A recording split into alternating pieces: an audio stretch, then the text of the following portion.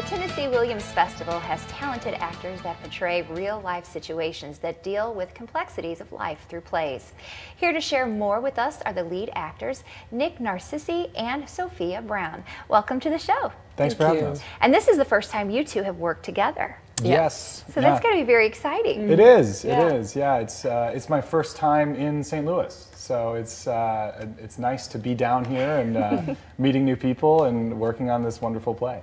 Well, Sophia, we're going to start with you. Absolutely. Tell us a little bit more about the act or the, the well, you're an actress, but tell us a little bit more about the character and, and why it appealed to you. Sure. Um, well, Blanche Dubois is a classic role, and she's this kind of Southern belle living outside of her time. And there's something tragic and relatable about her. You know, everyone is Blanche in a way. Everyone has this kind of deep, soft, intimate place that, you know, sometimes gets broken or ruptured. Mm-hmm. And what happens afterward is usually the most interesting. And did you know a lot about Tennessee Williams before you looked at the play? I did. I, I actually worked with the Tennessee Williams last uh, last year for the festival. Okay, so I this is your second time around? Yes. Okay, that is Yes. wonderful. Although last year I played exclusively men. oh, wow. Okay, Yeah. so you're very versatile. Switching it up, you know, just keep people on their toes. And just to do a little bit more digging about Blanche, how did you prepare for that role? Um, I find that creating memories is the most important thing for me. Like establishing a history for myself, creating a home for myself, a life that I had before, secrets, you know, special experiences that were exclusively mine, things that I can hold and keep inside of myself to remember who I am.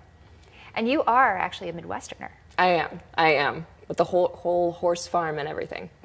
You want to let everyone know where you're from, Oh yeah, I'm from Peculiar, Missouri. Mhm, which is peculiar in its It is peculiar and special, very small. We have a llama. I feel like that's one of our most peculiar, you know, specialties.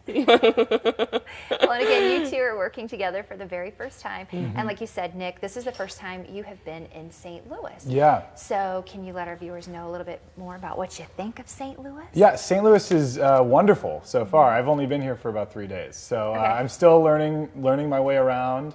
Um, but I have been up in the arch already, Okay, so I'm. I'm ahead of I think a lot of people. Okay. You need some Imo's Pizza. We Yeah, gotta get you there. I, do. I do. I need to. I Ted need to. Drewes. Pappy's. I've heard about too. Yes. So I have to. You know, I have a lot of places to to eat at. Mm-hmm. That's all I hear about St. Louis is how wonderful the food is. So, um, so I'm excited to. Uh, I'm excited to you know learn more about the city and.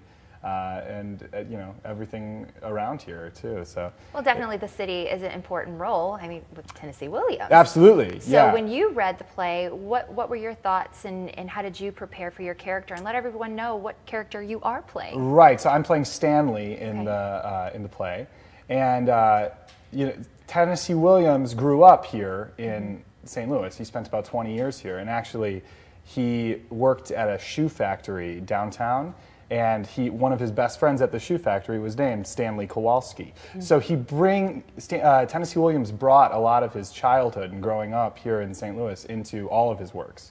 Uh, as, for playing Stanley, it's such a tough role because it's uh, so iconic. Marlon Brando originated the role on Broadway and did it in the movie, and you know it's built into the cultural zeitgeist of Stella. You know, every, you know everybody knows that. So um, it is a it is a challenge to you know make it fresh and make it uh, contemporary to today's audiences, but also.